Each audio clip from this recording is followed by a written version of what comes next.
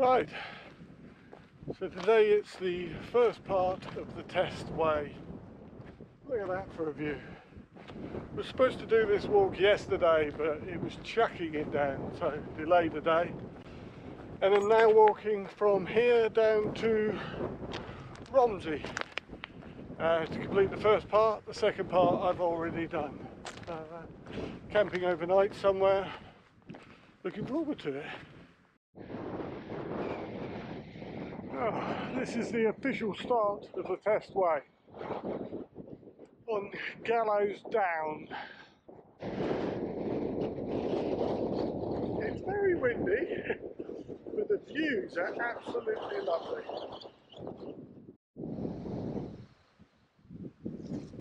Well, I'm definitely on the right track.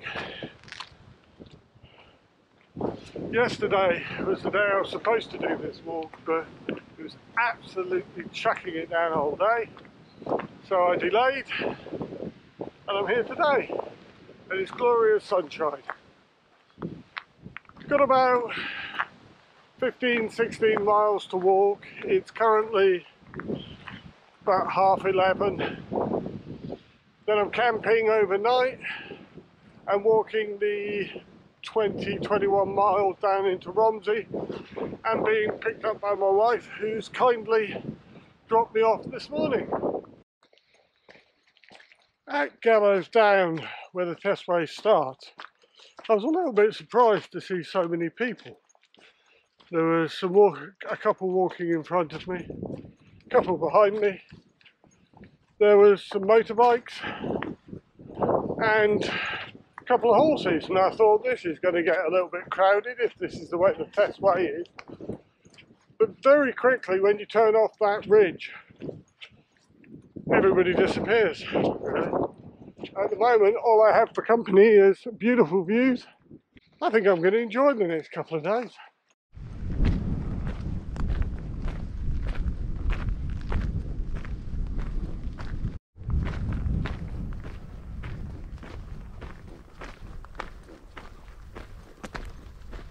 Oh, it's a little bit of a climb up to Manor House at Linkenholt.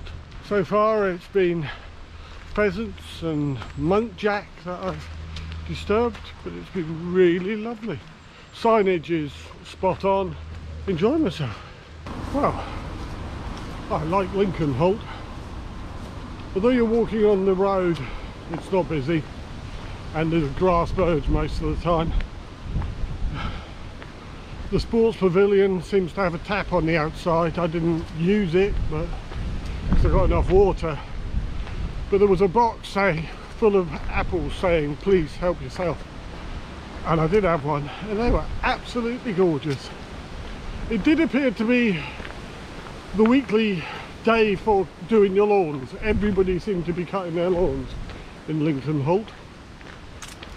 But very pretty place. And yeah, like that a lot. Yeah, lovely old track I'm currently on. There's plenty of blackberries in the hedgerow. Lots of insects. Look at that.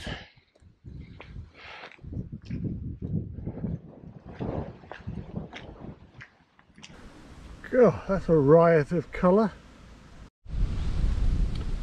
A lovely shady spot for a bit of lunch with a built-in seat. As I know that I'm being picked up at two o'clock tomorrow at Romsey, there isn't really a lot of point in blasting out the miles. Which is good because it means I can chill out and relax and try and just enjoy the walk. Sometimes it can be just trying to complete the miles and missing out on what's around you. It's absolutely beautiful around here because I know I'm camping tonight, I'm sort of, my mind's looking for somewhere to camp. And I saw this spot over there, which looks beautiful. But uh, actually I know that the winds that are coming tonight are southwesterly and that's southwesterly. So I think if I was to camp here, I'd probably be camping over there to get some protection from the trees. But I'm not camping here. I've got another 10 miles and plenty of hours to do it in. So, yeah, really enjoying the testway. The signage is brilliant. Uh, tracks are easy. One thing I do need to think about is some water. Got a couple of villages coming up and I always find that churches are a good place to try and get some water from. I can get used to this relaxed way of walking. See quite a few buildings I'm out walking. I wonder if this was an old aircraft hangar. The signage at the moment is so good that I'm not even having to refer to the GPX that I downloaded from the Long Distance Walkers Association. Uh, the paths are easy. Really enjoying it, really am. Uh, I hoped I would because when I did the second part from Romsey down to Eling Tide I really enjoyed that as well. Uh, so I was I was hopeful that this half wouldn't spoil it. And so far I may only be seven miles in or whatever. But yeah it's really nice. That's the view I've got at the moment. Hardly complain can I?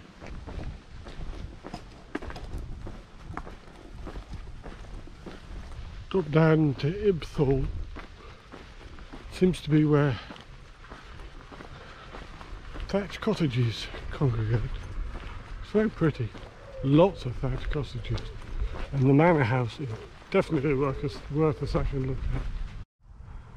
There you have a view of Hurstbourne Tarrant. About nine miles in on the top of this testway. Very pretty, but no water. The church has gone eco, so they have a water butt, and the community centre have water for dogs in a bowl, but their tap was jammed, whether intentionally or otherwise.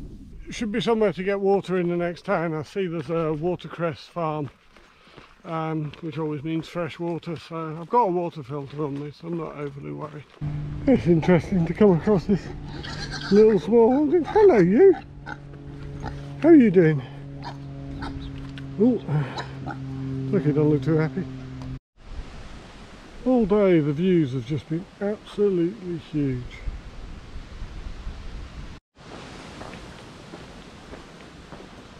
This section after Stoke Hill Farm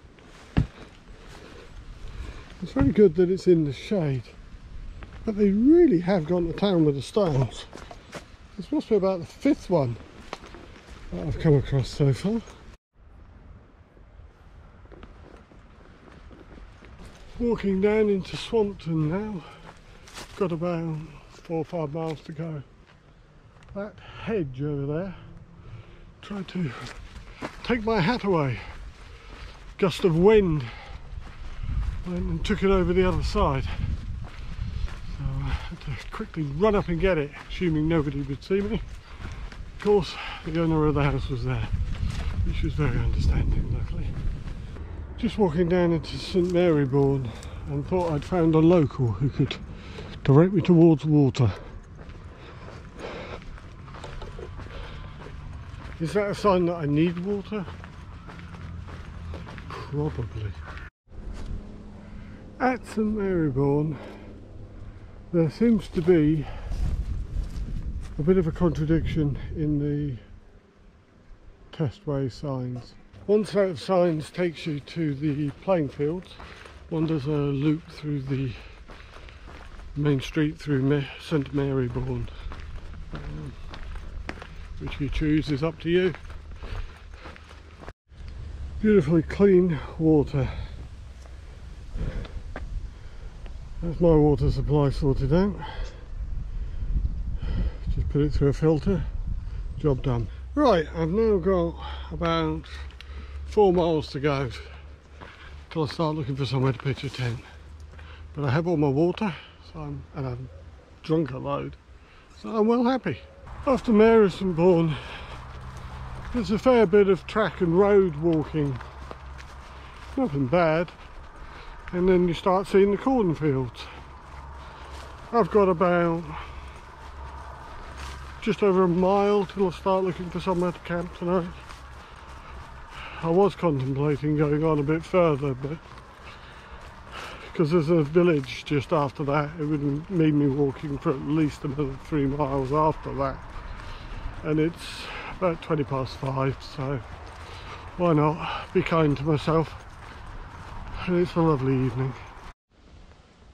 Well that's 17 miles in from the top of the test way I found a nice little place for me to sleep tonight.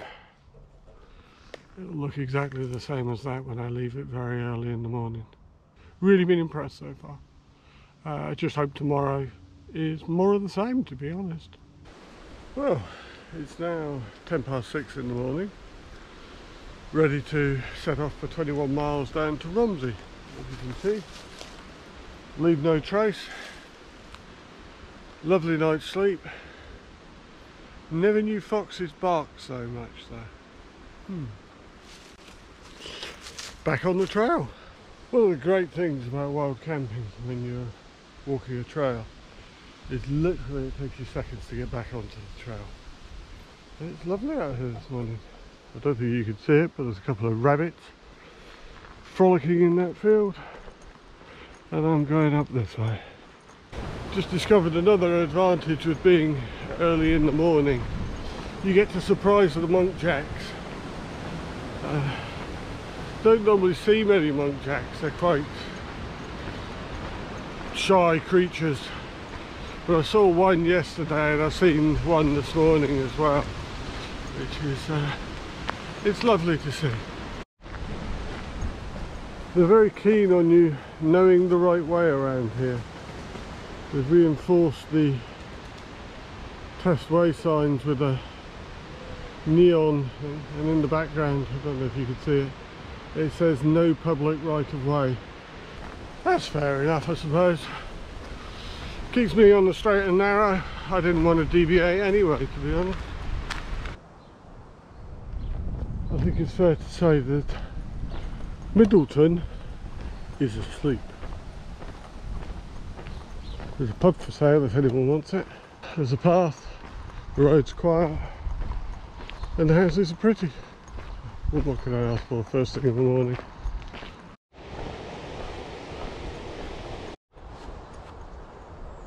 Well, somebody's keen to see me. Hello, you two. There's some lovely old buildings on this place. Around Forton. Again, it's a place that has a, a lot of thatched cottages and free apples. Well, the weather seems to be trying to do something. This is up out of Forton and from this vantage point I can see hundreds of pheasants and a couple of deer, two rabbits, just magical.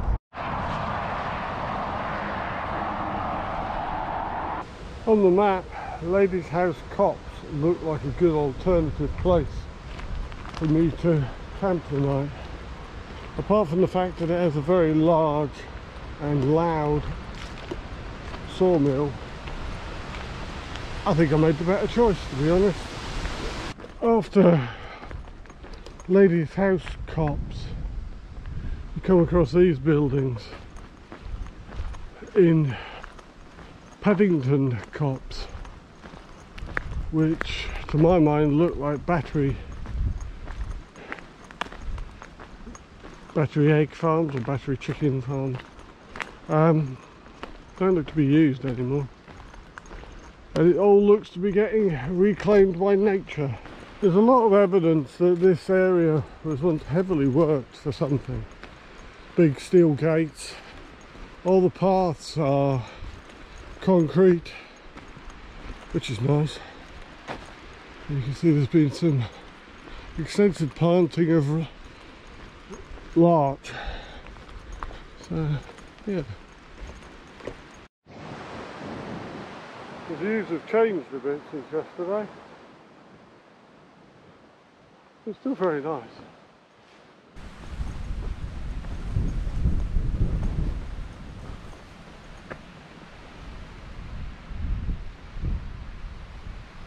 Yeah, there's something a bit different between walking on a long one day and long, walking on a couple of days with camping in the middle. It's taken about five miles this morning for my body to realise that this is actually happening and stop complaining. The odd aches and pains but yeah about five miles now. So I keep seeing little um, mice run across the path here. Very distracting.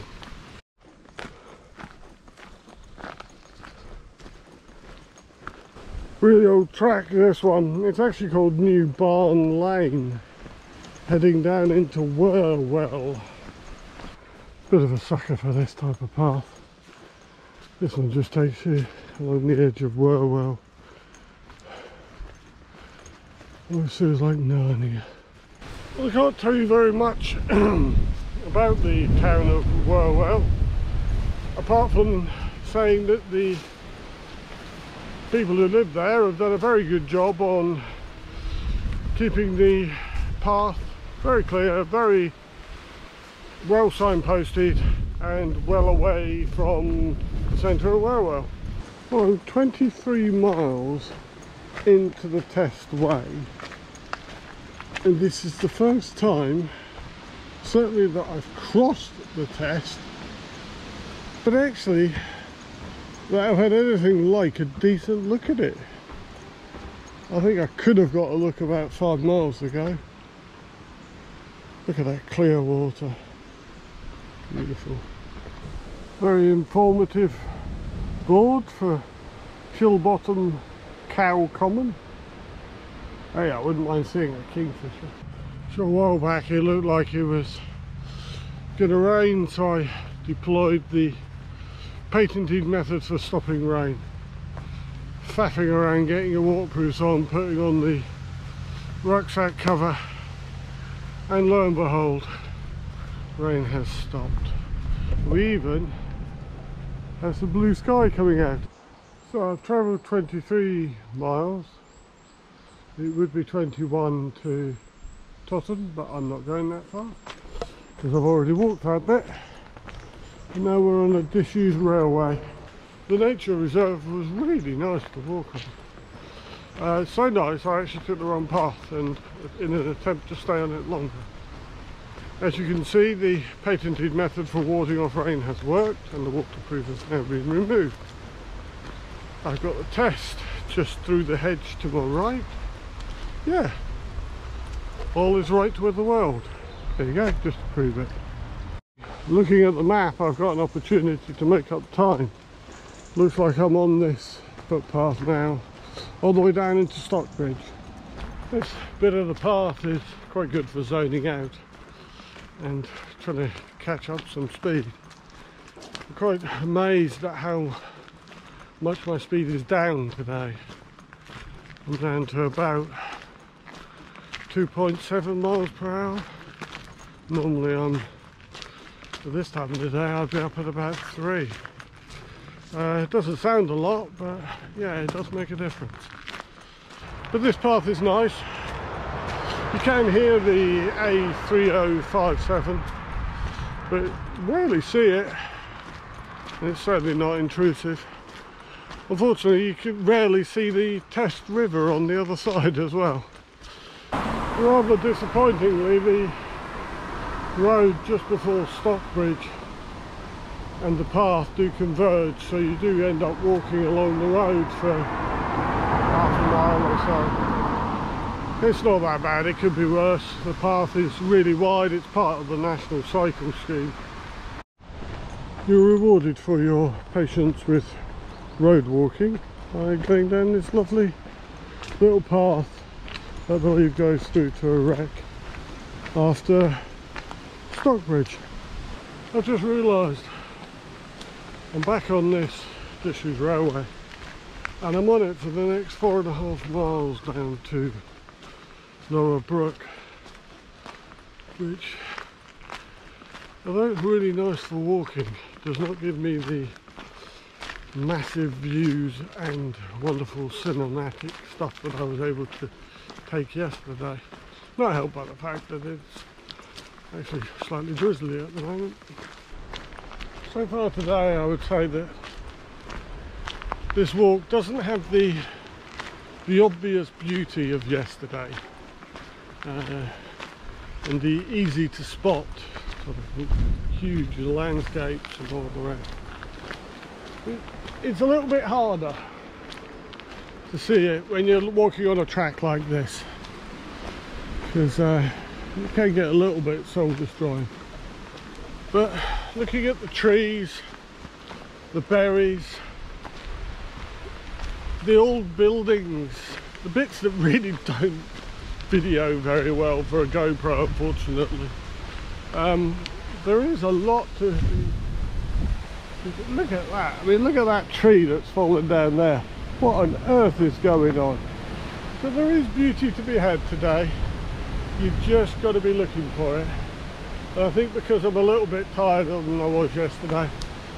I did initially find it a little bit harder but I've changed my socks had some water had some energy bars and yeah it's growing on me. I like the way somebody's made the railway sleepers into a bench. That's very pleasant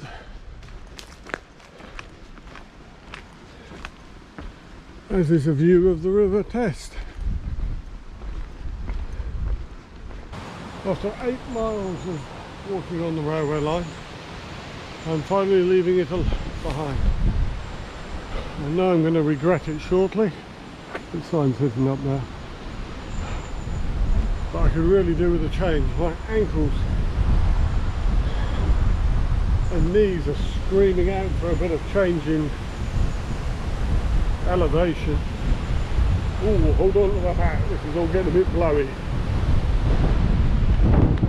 yeah oh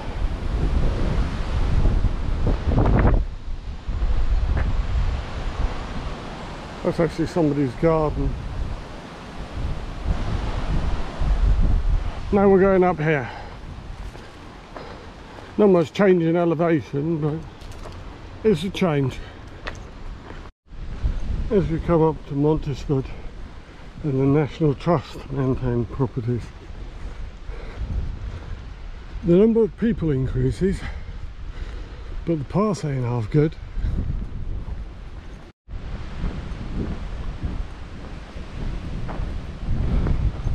Right, just out of Mottisfont. I've got five miles to go. I've just arranged that my pickup will be there in two hours. So that's doable, but no dawdling.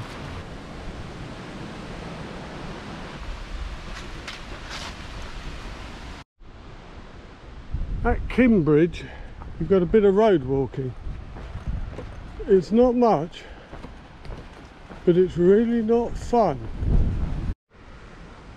Well, that may have only been 100 yards long, but Testway sign has never been so welcome. At Awbridge, there is a bit more road walking after a pleasant bit of forest, but this time there is a lot of uh, side grass which makes it useful. You just have to switch from side to side occasionally to try to get it all. An interesting bit of walkway. Tells me what this place is like in uh, a bit of flood I'm about two miles from Romsey now currently trying to work out whether with two miles to go it's worth putting on my waterproofs for this slight bit of rain. Every time I think, nah, I won't bother, it gets a little bit harder. I think it's a war of attrition. Yeah, you guessed it. 10 seconds later it really started chucking it down, gave in, put on the waterproofs and now it stopped raining. At Crowlands there appears to be a discrepancy. My GPX showed one thing, The signs on the ground showed another thing, but I actually think the GPX was right. Uh, that's where I should have come down, but I actually came from over there. There's a quarry which means that the path gets diverted. It says danger quarry workings. I think that's going to be dangerous. So, we're out here. And how quickly we're back into countryside from the quarry workings. Since Hillbury Farm, the signage which had been brilliant has been well, I think I've only seen one sign. Um, yeah it's not been, I don't know what's happened. Okay that wasn't the signage's fault. The reason there wasn't a sign on the path I was on is because it wasn't the test way. Oh the actual sign was round the corner. But this is a very old wood very nice wood. The path is very well laid out. Yeah yesterday was all farms and open fields and massive views. And today it's been tracks and hedges and woodland. Uh, I couldn't have planned it as two separate walks that way if I'd have tried to be honest and it wasn't intentional the stile is over there and there's a huge bunch of cows right in front of it. See all these cows here? Right behind this bunch is the stile come on move move move move move move did not understand the word move did you cow